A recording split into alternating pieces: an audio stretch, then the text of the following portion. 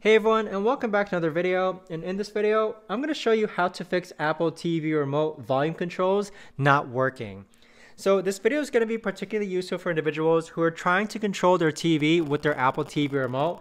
How do you fix your volume controls not working with your Apple TV?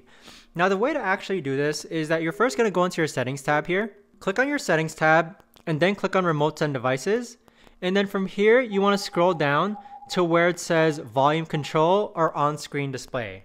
So there's two things that might have happened here, guys. Your volume actually might be working, but your on-screen volume display might be set to hide, which might make you think that your volume isn't working, okay? Does that make sense?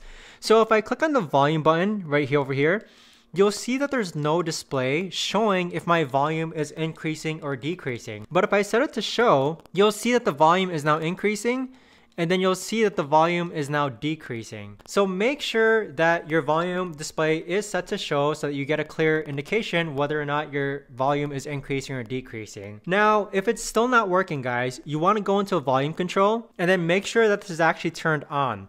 So I have mine set to auto and yours might be set to off.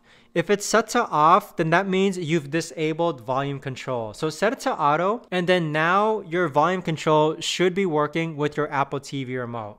But that right there, guys, is the best and easiest way that I know of to actually go ahead and fix Apple TV remote volume controls not working. If you guys know of a better or easier way to actually do this, let me know in the comments down below. I would love to know.